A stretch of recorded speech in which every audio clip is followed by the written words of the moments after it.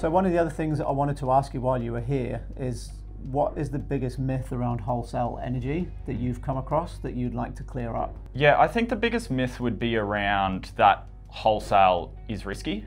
Um, but if you've got a solar and battery system and you're in a, a position to be as self sufficient as possible, like wholesale plus battery automation is a great bet. And we see that with how much additional value customers are unlocking with, with their solar and battery systems.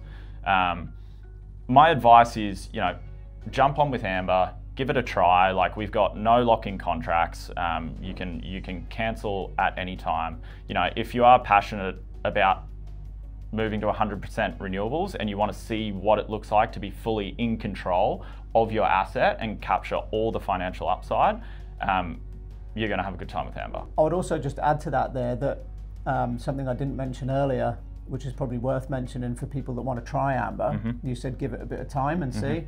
You need to give it a bit of time, don't you, to learn as well. That's right. So we've had a little bit of feedback from people um, just on the forums online and stuff where they've tried it for a couple of weeks yep. and gone, this is not working properly, I'm leaving. Yeah. You really need to let the algorithm learn. How long do you need to give it for that to happen? yeah, yeah, so we've got all this information on our website as well. We like to say that the first conservatively the first 30 days is is learning um, yeah. because we're essentially trying to build an AI model specifically for your site. So we're looking at how much um, solar your system produces, what your consumption looks like on your property, how much battery storage you have, and then it essentially just runs that through a model and many different scenarios, many different outcomes to see what's going to deliver the best turn. So it's like the more data we can have coming into the site, um, the more reliable Smart Shift is going to get. So yeah, we can link that. Um, all that information is on the website, but yeah, we, we, we, recommend the first 30 days, that, that is the learning period with Amber. Yeah, we can link that in the notes as well for people who want to read into it a bit further. But I, I can say from my experience